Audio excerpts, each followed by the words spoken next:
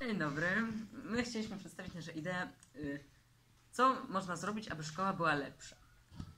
Pierwszą ideą, jaka idzie pod celownik, będzie to, dlaczego my właściwie mamy pracę w domu. Ponieważ od czego mamy szkołę i dom? Ponieważ gdyby to było inaczej, to mieszkalibyśmy w szkole. Czyli przykładowo, jeżeli w szkole mamy lekcje, robimy pracę, jakieś nie wiem, pisma, jakieś zadania i tak dalej, i nauczyciele zadają nam je do domu, ale po co? Żeby potem na następny dzień nas przyłapać, jakich nie mamy, żebyśmy dostali gorszą ocenę. Przecież no, to nie ma powiązania. Tak, praca jest w szkole i uczymy się w szkole. Do domu idziemy po to, żeby tam żyć, żeby tam mieszkać naszym własnym życiem i żeby na przykład ten czas w domu, zamiast poświęcać na robienie prac domowych, poświęcać na przykład na nasze pasje, na przykład, nie wiem, na muzykę, na sport. No i to jest taka moja idea prosto od serca. Żeby urozmaicić nasz czas w szkole, możemy także prowadzić em, różne dni, kiedy na przykład możemy się przebrać lub em, Dzień języka. tak, albo na przykład tydzień tolerancji, żebyśmy mogli też się w coś zaangażować i też żebyśmy się trochę jakby zacieśnili swoje kontakty. Zjednoczyli tak, Tak. jakby.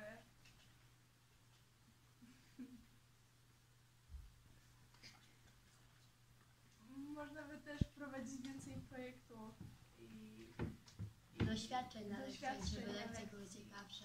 tak. Można by również wprowadzić system nauki przez zabawę. Że na przykład załóżmy taka matematyka. Ponieważ siedzenie ciągle w ławce i przepisywanie zadań z podręcznika do zeszytu albo z tablicy do zeszytu, lub z zeszytu do, na tablicę, to różnie bywa, to już się może trochę znudzić uczniom. I na przykład wprowadzić jakieś, nie wiem, jakieś domino z działaniami matematycznymi, coś takiego, takie, takie, takie różne fajne bajery.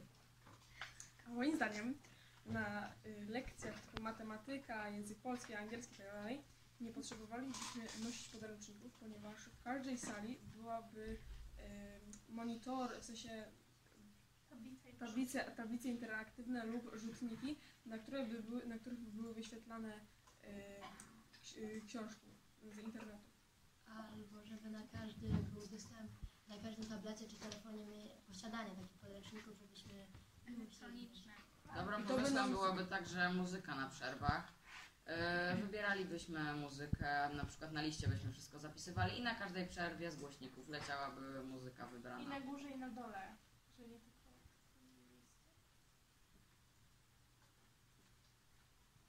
Dlaczego by nie wprowadzić także ym, jedzenia bardziej smacznego do szkolnej stołówki? Moglibyśmy na przykład w czwartek w szkolnej stołówce y, mieć obiady składające się na przykład z frytek, ym, z McDonalda. Oczywiście y, złym pomysłem również nie byłaby pizza. Na przykład w jeden dzień w miesiącu. Albo lasagna. spaghetti. Lub O, spaghetti taco. jest dobra. Spaghetti już. A na przykład spędzanie czasu na przerwach, żeby był bardziej taki, na przykład byśmy mogli się bardziej rozwijać też na przerwach, żebyśmy nie siedzieli w telefonach i Tak. byli zapatrzeni tylko w to, co my robimy, tylko bardziej rozmawiali z innymi. Albo by były głośniki, na przykład ktoś by krzyczał, że tańczymy i nagle wszyscy zaczynają O, tańczyć. też jest to fajne. Fajna była też na przykład możliwość y, na przerwach, mm, na długiej przerwie zostania w szkole, ponieważ w tym okresie zimowo-jesiennym jest dosyć zimno i nie każdy chce wychodzić na dwór, nie każdy też y, się ubiera odpowiednio do pogody, więc y, dużo osób y, chciałoby zostać w szkole, ale niestety nie mogą. No na przykład takie jedno miejsce do, do tego Tak. za, zainicjować, w którym stałby nauczyciel i pilnował te osoby w szkole, a jeden, a kolejny, nauczy- kolejny nauczyciele na dworze. Fajnie też by było, gdyby na długich przerwach e, w sali komputerowej e, było takie możliwość wejścia i skorzystania z komputerów, oczywiście pod opieką nauczyciela. Przykład szukania informacji przed sprawdzianami. Mhm. E, Dobrym pomysłem jest również to, żeby zamiast dużych sprawdzianów byłyby małe, ale na przykład y, w jeden tydzień jest jeden sprawdzian z trzech tematów, Te- no, takie kartkówki troszkę większe. Tak, częściej po prostu. Ale częściej, Częściej, ale z, mniej, z Tak, mniejszej. dokładnie. z mniejszej po prostu Materiału. dokładniej nauczyć. I więcej I więcej- zapamiętamy. Tak, powtórzymy sobie. I to, nie, I to też by nie wyglądało tak, że dzień przed sprawdzianem na przykład siedzimy w książce 3 godziny, bo musimy wkuć wszystko, co było, to tylko byśmy się tak uczyli tak po troszku, że na przykład jeden temat na jednej kartkówce, 15 minut i, i gotowe. Gdy na przykład są lekcje, że wszyscy siedzą równo w tych ławkach, nauczyciel coś tłumaczy, no i no to, to jest Szara. to jest chyba jasne, to jest takie szare. Do, nie do każdego może takie coś trafić, że nam, że nie wiem, załóżmy, że gdzieś nie wiem, zapatrzy za okno czy coś, bo na przykład śnieg pada, nauczyciel coś tłumaczy, no i do niego to nie trafia, bo jest po prostu skupiony na czymś innym. A jakby wprowadzić coś takiego jak taką właśnie naukę przez zabawę, bo na przykład Centrum Nauki Kopernika, przecież to jest sama nauka, ale też sama zabawa, że ludzie tam chcą chodzić, bo tam jest po prostu fajnie. I gdyby w szkołach było coś podobnego, to myślę, że również by się zwiększyła ta chęć chodzenia do niej. I gdyby ta nauka nie była taka nudna, że nas uczą coś tam, że, że jakieś coś, jakieś ten, jakieś, jakieś, Zapisywanie. Właśnie pisanie w zeszytach, że za dużo tego, żeby wpisać tylko takie najważniejsze informacje, a żeby nie przepisać na przykład całego tekstu, jakieś zapamiętaj czy coś. Tylko właśnie też nie rozumiem, dlaczego w szkołach są sprawdziane i kartkówki. To nas dosyć zniechęca, jeżeli dostaniemy złą ocenę. Tak naprawdę po co w ogóle są jedynki? Jeżeli uczeń dostanie jedynkę, no to jest od razu. Y, Jest mu przykro, jest zmarnowany, no bo to jest zła ocena, nikt nie chce takiej dostawać, więc najlepiej po prostu wy, wyeliminować tą ocenę niedostateczną. Y, Sprawdziane i kartkówki wiem, że dla nauczycieli to także jest bolączka sprawdzanie ich, ponieważ klas jest dużo. No i tych sprawdzianych i kartkówek naprawdę czasami może rozboleć głowa od sprawdzania ich. Nam też to nie, nie przypada, bo musimy, mar- y, s- przepraszam, musimy poświęcać nasz czas na naukę. Potrzeba w- wykuć to wszystko, nauczyć się. Y, A nie wiadomo, jakby ktoś się starał, jeżeli nie ma na przykład talentu do czegoś, no to nie zawsze mu wyjdzie.